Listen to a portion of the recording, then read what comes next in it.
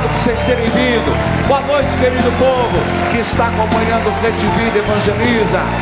Quarta-feira, estamos na área, não é não? Quem está feliz de estar aqui? Deixa eu perguntar, quem está vindo a primeira vez? Olha aí, toca o sino, sacristão. Bom, nós estamos muito próximos de celebrar São Brás. São Brás, que é um santo muito conhecido na igreja e é chamado como o protetor da voz. Por isso, em torno de São Brás, nós queremos hoje falar com você em casa e aqui sobre o poder da voz, a importância da voz, a voz como uma forma de comunicação utilizada pela humanidade. E lembre-se, também falar sobre os cuidados com a voz. Que ter cuidado com a voz é só para profissional ou toda pessoa, Dona Maria, ou seu Zé, ou você que é ambulante, que fica gritando por aí, tem que ter cuidado com a voz. Nós vamos ter como participação hoje uma fonoaudióloga, Cida Stier. Uma salva de palmas. É claro que a frase orante é: Senhor, por intercessão de São Brás, livrai-nos dos males da garganta. E mesmo na bênção do Santíssimo, vou fazer a oração de São Brás e depois vou dar a bênção de São Brás como prometido. Mas sabe quem vem mostrar a voz aqui? Otávio Augusto e Gabriel. Atração Nacional. Eu quero acolher quem está aqui de Aracaju, Lagoa Seca, Paraíba, Campo Grande, Mato Grosso do Sul, Ponta Grossa, Taubaté, São Paulo, dois vizinhos, São José do Rio Preto, Campinas, Cuiabá, Campo Alegre, Engenheiro Beltrão, Arapoti, Cascavel, Cafeara, Jubeque, Curitiba, região metropolitana. Vamos juntos? Gente, o clima é de férias, ainda é janeiro, é de praia. Cantai a Deus com alegria. Vamos lá, essa é antiga e é boa. Aí, meu irmão. Cantai a Deus por seu amor. Cantai a Deus por seu amor. A Ele a glória e o louvor. A Ele a glória e o louvor. Exultai, rejubilai, aplaudir. Cantai louvores ao Senhor. Cantai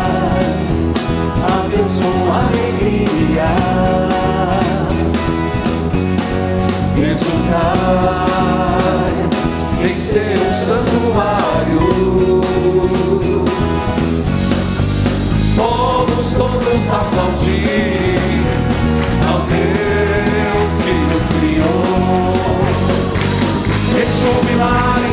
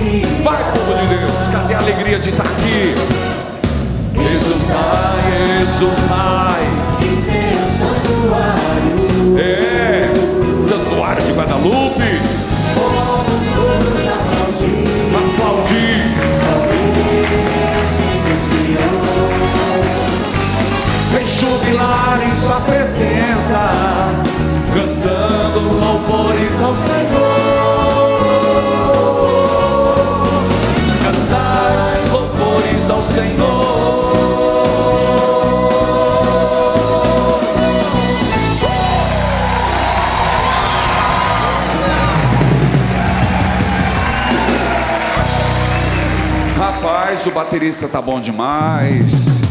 E até, Roger, dá, uma, dá aquele sinalzinho que eu vou saudar o Manzotinho. Ah, inclusive me contaram que a sua mãe veio hoje. Olha aí, cadê a mãe do Roger? Que no, a, a senhora, parabéns pelo filho que a senhora tem, viu? Deus abençoe. Vai lá, meu filho. Manzotinho, é com você, eu e você agora. Bora, bora, bora. Cantai a Deus por seu amor. Cantai a Deus por seu amor. Ah, meu que com saudade de Vamos você. de novo, vamos de novo. Vamos de novo, vamos arriscar. Cantai a Deus por seu amor. Cantai a Deus por seu amor. Ajudem ele.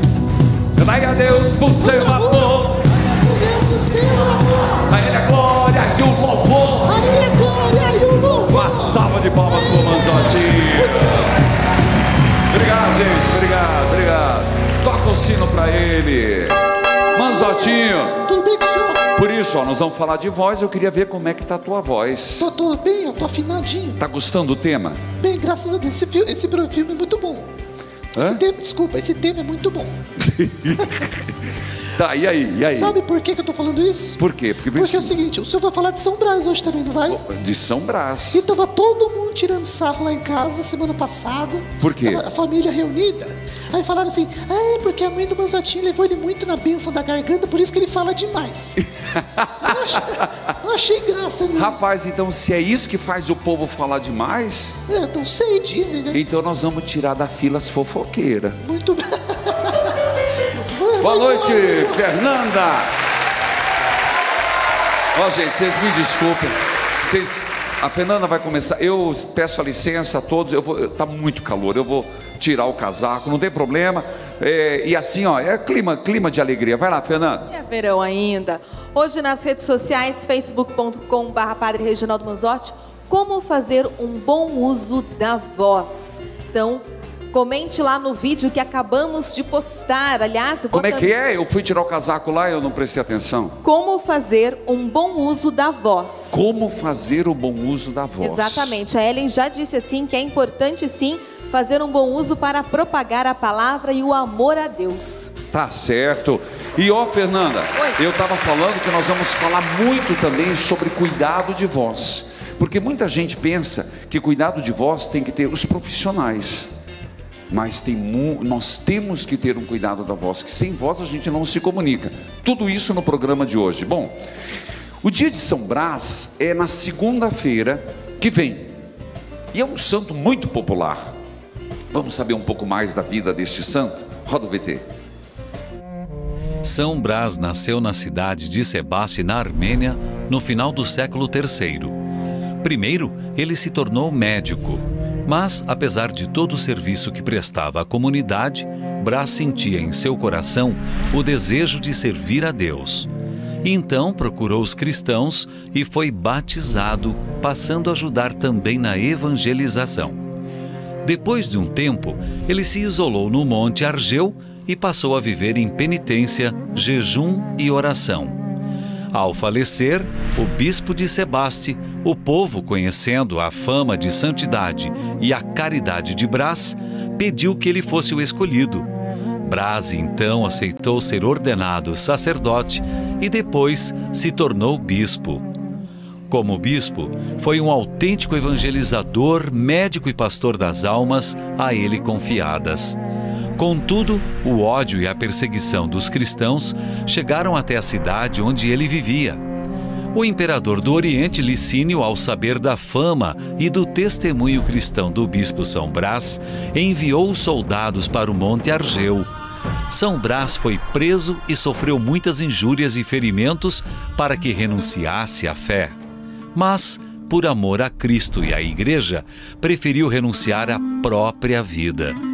No ano de 316, São Brás foi degolado. Uma narrativa histórica conta que no dia do seu martírio, uma mãe trouxe até ele uma criança quase morta, engasgada com uma espinha de peixe. São Brás pediu uma graça a Nosso Senhor e a criança ficou curada. São Brás, bispo e médico, é um modelo e testemunho de amor. São Brás, rogai por nós. São Brás, bispo e mártir, livrai-nos dos, Os males da garganta. E olha que todo ano eu faço essa novena, faço no rádio, estou trazendo aqui, e muitos professores me pedem. Por isso eu já quero dizer, você que é professor, vem junto para pedir a bênção, porque é o instrumento de trabalho. Tem os músicos aqui, sabe o quanto precisam, também, mas dona de casa, também padres, sabe por quê? Existe um princípio: a fé passa pelo ouvido.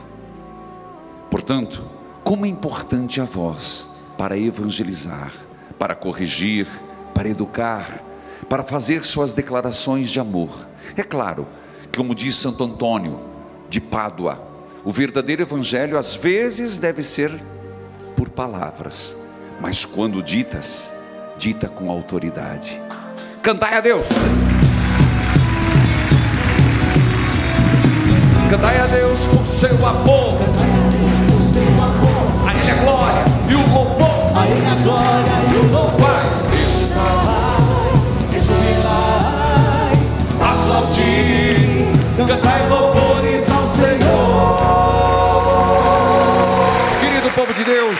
os irmãos sertanejos, simpaticíssimos, já conversei com eles ali, foram uma dupla há mais de 20 anos.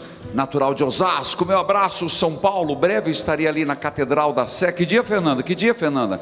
Na sede a 8 de fevereiro. 8 de sábado. fevereiro, confirmadíssimo. Mas voltemos. Eles, Otávio Augusto e Gabriel, aqui conosco. Seja bem-vindo, Reg em Roça.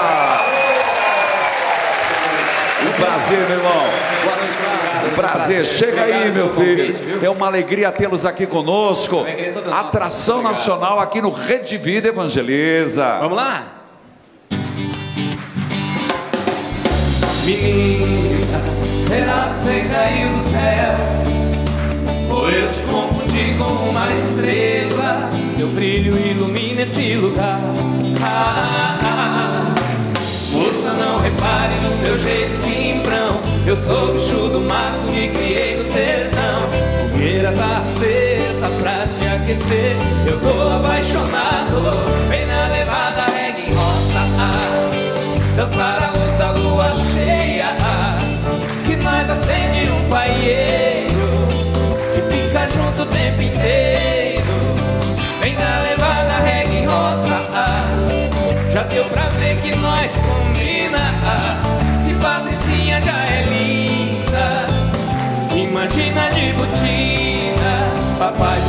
deu essa menina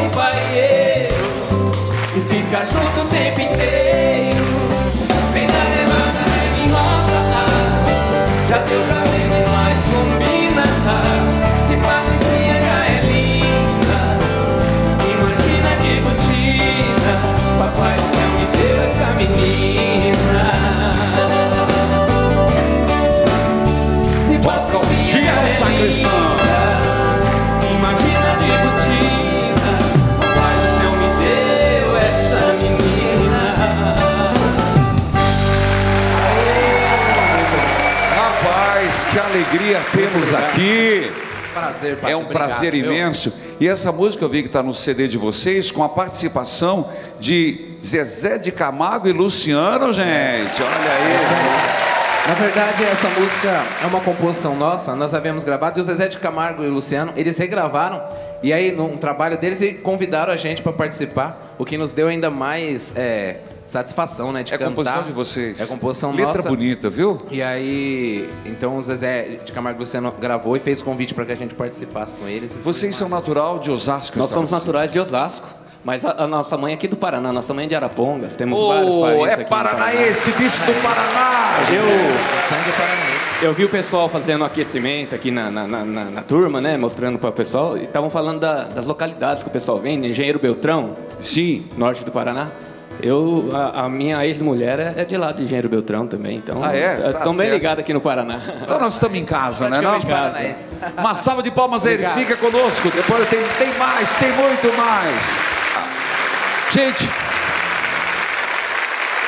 eu queria dizer para você qual a importância da voz.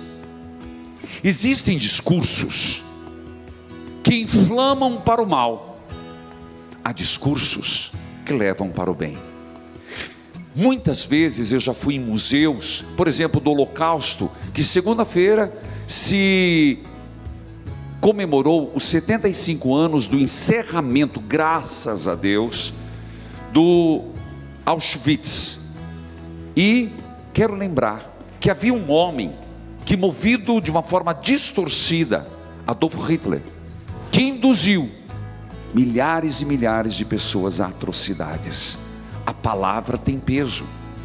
Claro, a nível de massa, mas também dentro da sua casa. Você dá o devido peso àquilo que você fala? Veja essa matéria. I have a dream that my four little children will one day live in a nation where they will not be judged by the color of their skin, but by the content of their character. I have a dream today. Um bom discurso pode mudar o rumo da história. Esse que acabamos de assistir um trecho foi de Martin Luther King no ano de 1963 para mais de 200 mil pessoas em Washington e foi decisivo na luta pelos direitos civis nos Estados Unidos. Ou seja, um bom discurso pode construir a paz e pode trazer a guerra, pode destruir e pode construir. E isso funciona tanto para as nações quanto para o indivíduo, tanto que um dos maiores medos que as pessoas têm é de falar em público e um dos cursos mais procurados profissionalmente é o da oratória. Agora, se essa parte é tão importante, quais são os cuidados que nós devemos ter com a nossa fala, com a nossa voz? Bom, muito obrigado equipe que, que, que produziu. E eu estou aqui com a alegria de ter a Cida Estia, uma fonoaudióloga, seja muito bem-vinda. E nós estamos falando de São Brás, e São Brás tem tudo a ver com a voz. Nós temos esses meninos aqui, chamar-se de menino, Otávio Augusto e Gabriel, uma voz fabulosa, né? Então, a senhora Cida vai falar muito, e nós- eles também nós vamos fazer uma vamos. conversa aqui, porque nós temos uma visão equivocada que só profissional, eles são profissionais da voz no canto. Eu uso a voz para evangelizar. Então a primeira pergunta que eu já começo a lançar: só o profissional precisa cuidar da voz ou é uma necessidade para todos? Para todos, porque a voz nos representa. E muitas vezes as pessoas se representam mal por não perceberem a voz que têm. E esse é um ponto que todos nós precisamos Dá para ter aumentar um atento. pouquinho o volume dela, que então a voz dela não está chegando no meu aparelho auditivo. Deu Que é um, que é um Viu conjunto. só? Que é um É. conjunto. Conjunto, agora, entendeu? agora aumentou. Melhorou, Uhum. melhorou. Então, é, o que, que a senhora está falando? Por favor, eu não ouvi mesmo, é verdade. Está vendo o que, que A é? voz, a voz nos representa. Nos representa. E muitas vezes, quando nós não temos consciência da voz que nós usamos, nós nos representamos mal. Por isso, é importante ter o hábito de se gravar, de ouvir a própria voz, para ter a consciência se essa voz nos representa bem ou se ela nos representa mal. Olha aí. Então, fica essa primeira dica. Nós vamos ter que ir para o intervalo, nós vamos voltar, mas tem muitas perguntas aqui, eu já vou deixar no ar. Por exemplo, uma pessoa que não gosta da sua voz, tem como mudar? Minha voz é muito. Tem como fazer alguma coisa? Depois, a senhora vai dar cuidados que toda pessoa, dona de casa, qualquer pessoa tem Sim. que cuidar da voz. Profissional nem se fala. E nós vamos ter muitos outros questionamentos, pode ser? Tá bom, claro. E vocês também vão ajudar. Vamos, vamos tá participar, certo? vamos Gente, eu vou para um rápido intervalo, eu volto já. Volte comigo, não sai daí não, vou pelo amor de Deus. Amor, amor, amor, seja onde for, amor, amor, coração batendo, explosão de sentimento. Hoje eu só vou espalhar amor, vou espalhar